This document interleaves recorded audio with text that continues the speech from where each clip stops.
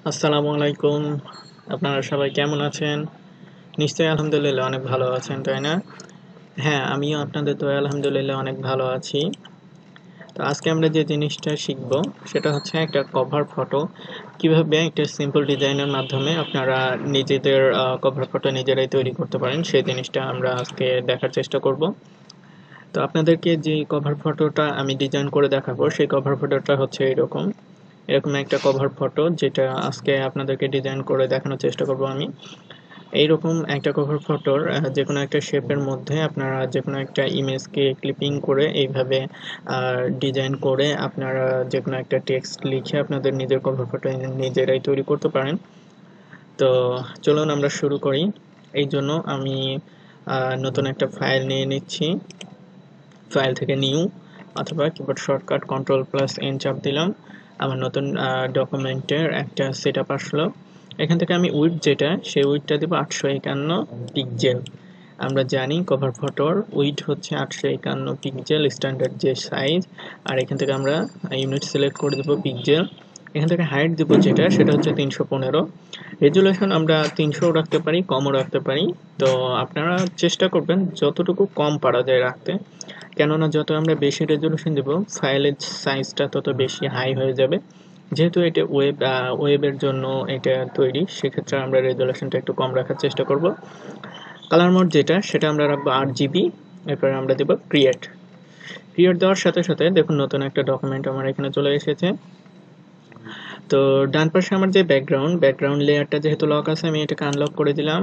Unlock করে দেওয়ার পর আমার এখানে ডিজাইনে যে শেপটা ব্যবহার করা হয়েছে, সেই শেপটা হচ্ছে একটা ওয়ার্ল্ড ওয়ার্ল্ডের একটা শেপ অথবা পৃথিবীর একটা মানচিত্র, মানচিত্রের একটা শেপ তো এইটা ব্যবহার করার জন্য আপনি যে কোনো একটা ব্রাউজার থেকে গুগলে যাবেন। গুগলে যেয়ে গুগলে যে আপনি যদি ওয়ার্ল্ড ম্যাপ পিএনজি লিখে সার্চ করেন, তাহলে এখানে অসংখ্য ওয়ার্ল্ড ম্যাপ পিএনজির আপনার ইমেজ আসবে। থেকে আপনি যে কোনো ইমেজ আপনার পছন্দ মতন ইমেজ ডাউনলোড করে নিয়ে আপনি এই ক্লিপিংটা করতে পারেন। তো এখানে আমি আমার ফাইল থেকে প্লেস ইমবার্ডে গেলাম। ইমবার্ডে যেয়ে এখান থেকে আমি আমার ওয়ার্ল্ড ম্যাপের পিএনজির এই ফাইলটাকে এখানে প্লেস করে নেব। এখানে প্লেস এরপরে আমি এই ওয়ার্ল্ড ম্যাপের আমার যে অংশটুকু, আমার শুধুমাত্র এই বড় অংশটুকু দরকার, এই বড় অংশটুকুতে আমি ইমেজটাকে ক্লিপিং করব। আমি এই বাদ বাকি এই ছোটো অংশটুকু, এগুলো দূরের এই অংশটুকু, এগুলো দরকার নাই। তো আমি যেটা করব ফ্রি ট্রান্সফর্ম অবস্থায় আছে, যেহেতু আমি এটাকে প্লেস করে নিয়ে এসেছি। অল্টার ধরবো আর শিপ ধরবো শিপ ধরার পর আমি এইটাকে ড্র্যাগ করে বড় করে নেব। বড় করে নিয়ে আমার প্রয়োজন অনুযায়ী এটাকে আমি এইভাবে রাখলাম। ধরুন এইটাকে আমি এইভাবে রাখলাম। এতটুকু পজিশনে রাখলাম, রাখার পরে রাখার পরে আমি ওকে করে দিলাম। ওকে প্রেস করার সাথে সাথে এটা আমার চলে গেছে এবং আমার যতটুকু অংশ আমি সিলেক্ট করে দিয়েছি, ততটুকু অংশ এখানে আমার ক্লিপিং হয়ে গেছে। ততটুকু অংশ এখানে আমার সিলেক্ট অবস্থায় আছে। এরপরে এই শেপের ভিতরে আপনারা চাইলে আপনাদের নিজের পছন্দ অনুযায়ী আপনাদের নিজেদের ছবিকে ক্লিপিং করতে পারেন, অথবা আপনাদের যে কোনো পছন্দের পিকচার এখানে নিয়ে এসে ক্লিপিং করতে পারেন। তো আমি এখানে যে জিনিসটা ক্লিপিং করেছি সেটা হচ্ছে একটা লায়নের একটা ইমেজ তো এই ইমেজটাকে আমি এখানে প্লেস করে নিচ্ছি আবারও ফাইল থেকে প্লেস ইমবার্ড প্লেস ইমবার্ড করে আমি এখান থেকে আমার লায়নের ছবিটাকে খুঁজে বের করি, এইটা। তারপরে এখানে আমি দিব প্লেস তো এইটাকে আমি আমার ফাইল সাইজ অনুযায়ী আবার অল্টার শিপ ধরে এটাকে ট্র্যাক করে বড় করে নিলাম। এই কোনা থেকে এইভাবে ধরে আমি বড় করে নিলাম।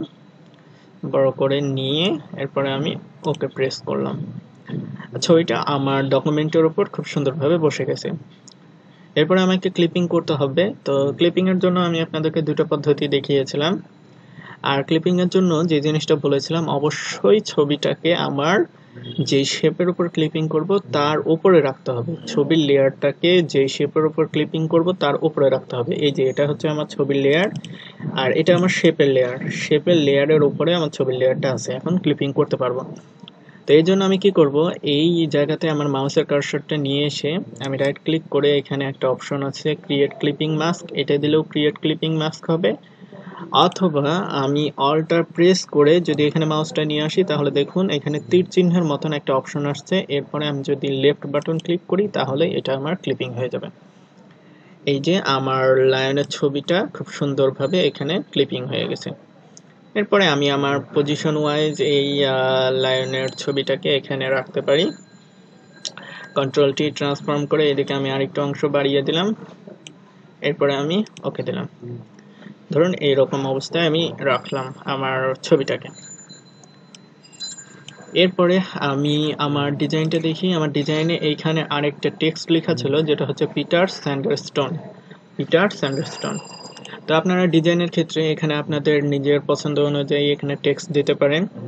আপনারা আপনাদের ফেসবুক কভারে যা যা প্রয়োজন আপনারা এখানে টেক্সট হিসেবে দিতে পারেন।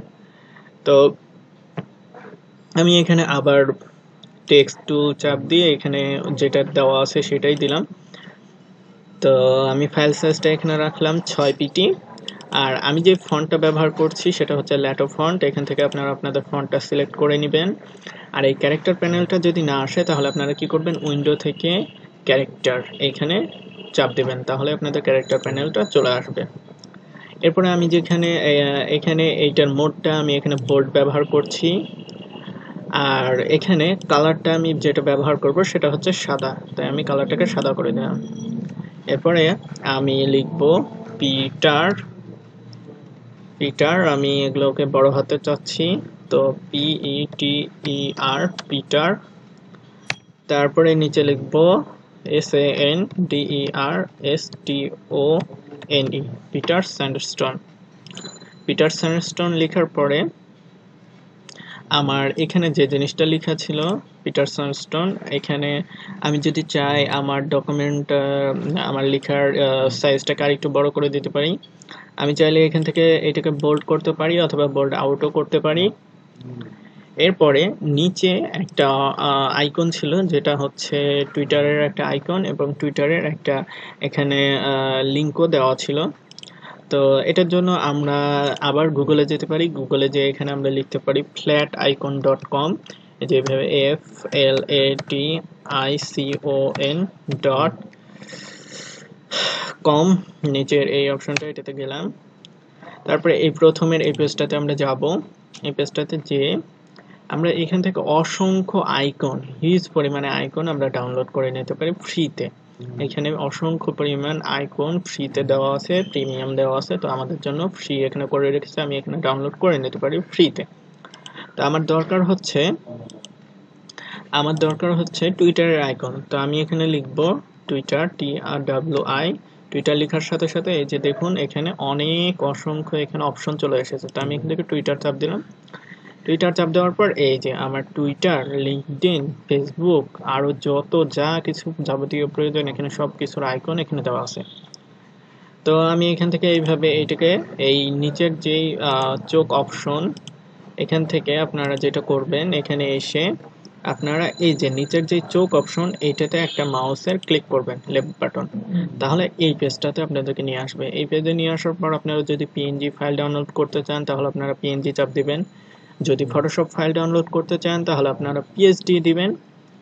এইভাবে আমি এখানে আমার দরকার পিএনজি ফাইল এর জন্য আমি পিএনজি ফাইল চাপ দিলাম। এরপরে আমি কত পিক্সেলে নিতে চাই? তো আমি পাঁচশো বারো পিক্সেলে নিতে চাই। এরপর আমাকে অপশন দেখাচ্ছে, আপনি কি এটা প্রিমিয়াম ডাউনলোড করতে চান, নাকি ফ্রি ডাউনলোড করতে চান?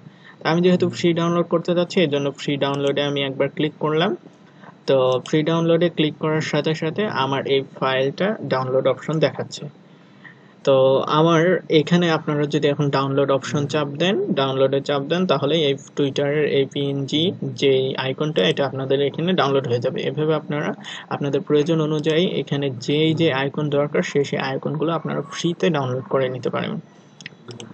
তো আমি এখানে চলে যাই। এরপরে আমি এটাকে কি করব? ফাইল ইম্বার্ডে যাব। আবার যে আমার ডাউনলোডের এইখান থেকে আমি টুইটারের যে আইকনটা সেই আইকনটা এখানে নিয়ে আসব। তো এই যে আমার টুইটার যে পিএনজি আইকন আমি ডাউনলোড করেছি, সেটা এখানে।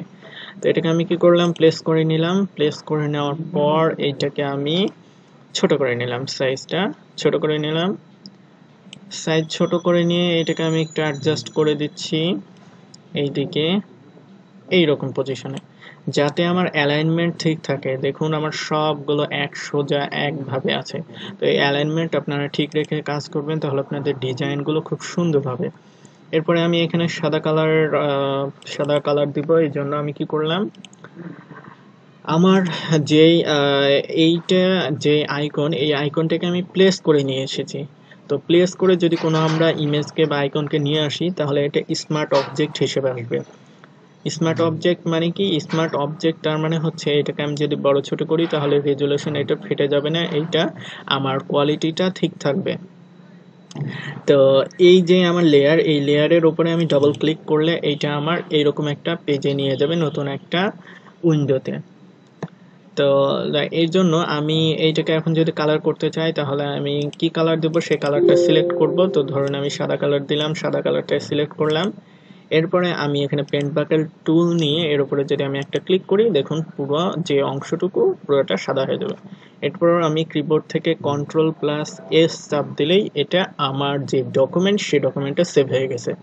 কি বিশ্বাস হয় না? চলুন দেখা যাক। এখানে আমি গেলাম, এই যে এখানে আমার ডকুমেন্টে সেভ হয়ে গেছে। তো এইভাবে যে কোনো একটা আইকনকে আমরা পিএনজি আইকনকে নিয়ে এসে আমাদের ইচ্ছা মতন কালার পরিবর্তন করে কাজ করতে পারি। এরপরে আমি এখানে টেক্সট যেটা লিখব, সেটা হচ্ছে টেক্সটের সাইজটা একটু আমি ছোট করে নিলাম। এখানে লিখব Peter Sanderstone P T E R S A N D R D R S T O N E Peter Sanderstone dot com ধরুন এইরকম একটা অ্যাড্রেস আমি লিখে দিলাম।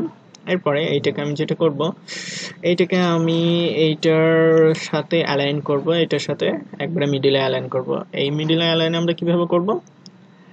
তো আমি যে আমার আইকন এটাতে একটা ক্লিক করলাম এবং শিফট প্রেস করে আমার লিখাতে আরেকটা ক্লিক করলাম।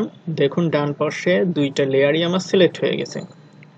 এই মতো অবস্থায় আমার এখানে এগুলোকে বলা হয় অ্যালাইনমেন্ট এগুলোকে অ্যালাইনমেন্টের অপশন এখানে দেখানো হয়েছে। এটা লেফট এভাবে সেন্টার এখানে বিভিন্ন ধরনের অ্যালাইনমেন্ট আছে।